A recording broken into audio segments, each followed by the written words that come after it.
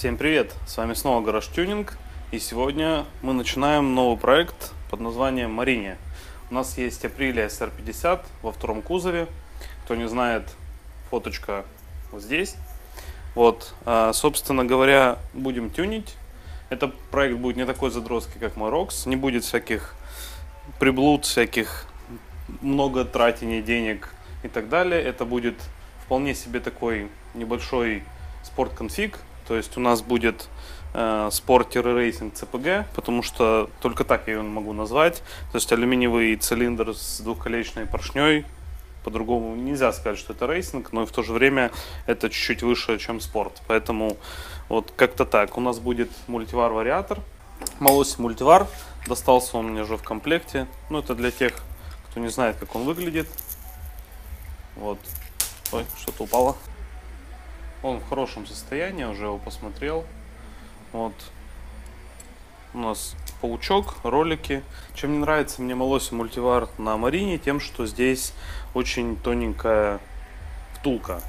Вот обратите внимание, снова такая вот тоненькая втулочка. Сейчас показать вам нечего для примера, но обычно втулка раза в два толще.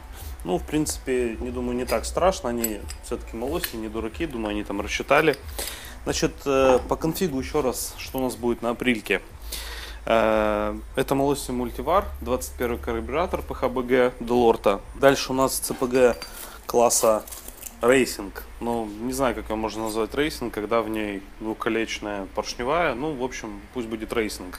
Aerosal 70 кубиков. Сюда же у нас э, до кучи будет тюнингованный вал полнощекий Motoforce Racing. Вот. Сложно было его достать на самом деле. Именно тюнингованный коленвал, а не какой-нибудь там. Вот. Э, то есть в данном Марине вообще это у нас Suzuki Let's. Первый уж точно. Это Sepia также. В общем, ну и некоторые разновидности Suzuki Katana, как я понял. Это у нас э, движок с, водяным охлаждением. То есть вот это то, что подходит. Вот шатун не внушает, кстати, доверия. Он такой тоненький, маленький. Может, конечно, так и нужно. Вот, но вот как выглядит вал. у нас здесь есть резьба под маслонасос, но маслонасоса у нас не будет. Но я думаю, это в принципе не страшно. Вот. Всякие биения, коленвал и так далее проверять не буду, но это совсем, я считаю, задротничество. Это только для мега racing ЦПГ, поэтому обойдемся, так сказать, без этого. Дальше, что значит у нас еще будет в данном мопеде, в данном заряде? У нас будет домик Malossi VL14. Собственно, я его забираю с Рокса. Домики ей подходят. Я думаю, сто раз уже показывать его не стоит. Но для тех, кто не знает, не видел, в общем, это Malossi VL14. Он подойдет нам сюда в качестве впуска. Карбюратор есть, вариатор есть. Ремень здесь вот такой вот Top Performance. Вот. Ну, немножко так он уже подустал, конечно. Уже эмблемки стерлись. Надписи. Ну, я думаю, это тоже, в принципе, не страшно. Ну и да, один из э, таких проверочных моментов, как проверить ремень в каком состоянии, это вывернуть его немножко наизнанку. То есть в данном случае можно посмотреть, что в некоторых местах он начинает уже немножко репаться. То есть вот, если вы посмотрите, вот. На это стоит обратить внимание, потому что ремень как бы это тоже один из расходников, за которым нужно следить и который нужно менять, чтобы у вас не получалось вот примерно как вот тут. Дальше. Значит, я располовинил уже картер. Первое видео я снял, но получилось, честно сказать, не очень себе. Я, будучи наивным парнем, взял съемники от мины, начал колдовать с ними, но что-то ничего у меня не получилось. И помощь ко мне, на помощь ко мне пришел чудо-молоток.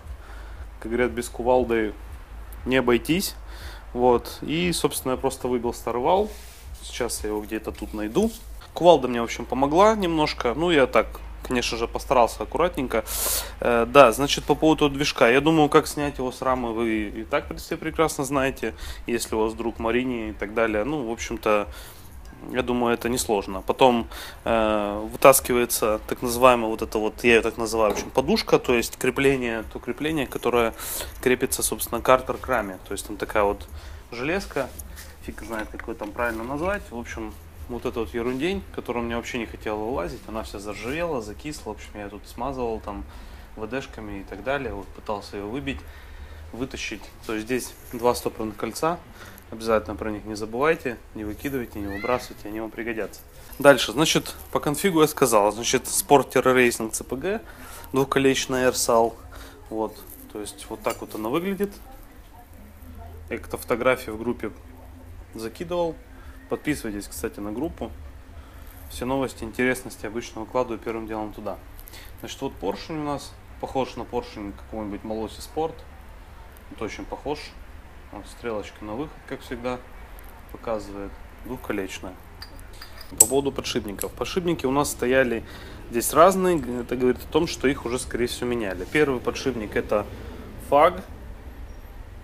Вот такой вот подшипник Корея. Вот второй подшипник у нас MCB. Вот. Как я понял, говорят, что это китайский якобы бренд. Но, в общем-то, за подшипники это отдельная история, сейчас тоже расскажу. Значит, размер подшипников у нас здесь. Значит, подшипник со стороны вариатора 52, 13, 25. Подшипник, значит, со стороны зажигания у нас получается 47 на 47 на 14 и 47, 14 на 20.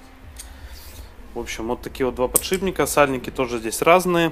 Если у вас есть маслонасос, то вам нужен еще дополнительно один сальник. Если у вас маслонасоса нету, тогда вам достаточно просто двух сальников. Размеры тоже, которые я вам сейчас скажу. Значит, э, подшипники, как я сказал, уже разные, которые уже шумящие. Вот их так крутишь, и в принципе это четко слышно. Вот, э, по качеству и так далее сказать не могу. Буду ставить новые. Вот, а вот что по поводу сальников. Значит, два сальника у нас здесь стоит. Э, маленький со стороны генератора. Это у нас 17 на 27 на 7. Вот сальничек со стороны генератора. А со стороны вариатора это у нас 25 на 37 на 6. Вот такой вот. Вот сальник я немножко со стороны вариатора, который взял немножко другой, он более шире, но я думаю, это в принципе не страшно. Сегодня, значит, будем собирать буду ставить подшипники, греть половинки. Я сделаю способом, в общем, нагрел половинку, вставил подшипник, нагрел вторую половинку, тоже вставил подшипник, вставлю вал в одну из половинок и дальше нагревом подшипника и второй половинки одену обе половинки, затяну, закручу. Вот, в принципе, и вся сборка. Ну, естественно, заранее промазав герметиком.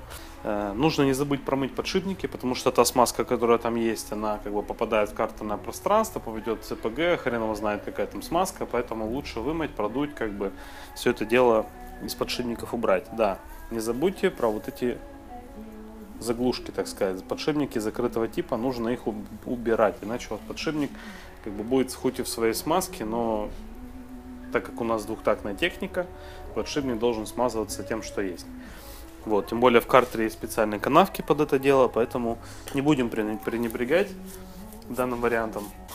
Берем подшипник, просто загоняем в бензинчик и хорошо-хорошо щеточкой мы его промываем с обоих сторон, чтобы вся смазочка у нас убежала. Что-то какая-то ядерная прям смазка, ни в какую не хочет улетать. Греем нашу половинку.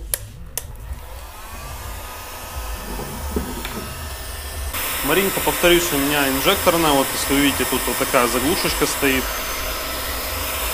Вот, но я думаю, на работу двигателя это не повлияет.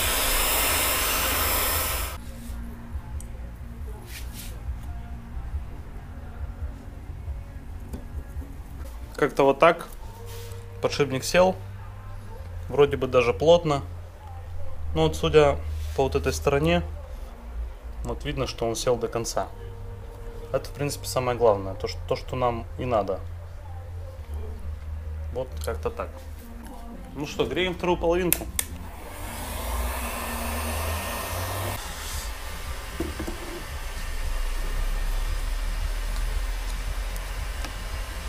попробуем.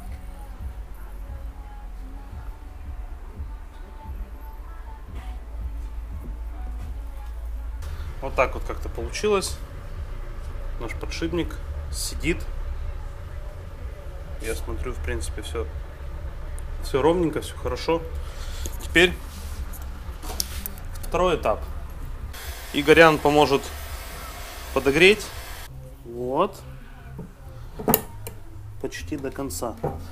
Потом его втяжечкой. Сейчас промажу герметиком эту половинку. Все аккуратненько, все стыки. Предварительно обработаю обезжиривателем. Вот. Промажу эту половинку. Когда уже буду эту ставить, вот потом буду болтами, болтами уже втягивать. Вот так вот аккуратненько в небольшой слой. Вот, сейчас будем греть вторую половинку и одевать друг на дружку все это дело. Так, ну что, поехали.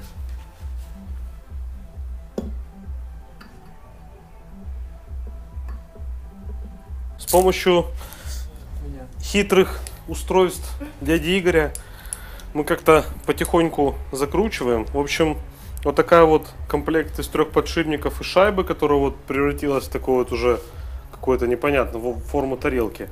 Вот, мы затянули вал, то есть я вот так подставлял вот эти три подшипника, одевал сверху шайбу, ну сначала два подшипника, потом третий, гайку и потихоньку затягивал, затягивал, придерживая через шатун, как бы шатун коленвала, упирая в картер и так потихоньку, потихоньку, очень аккуратно, потому что это дело такое очень опасное. Ну сейчас, в принципе, я вам покажу, как это было.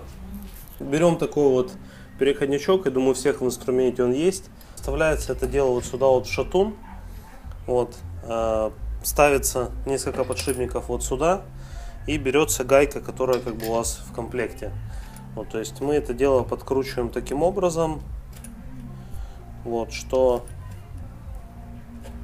сейчас вам продемонстрирую.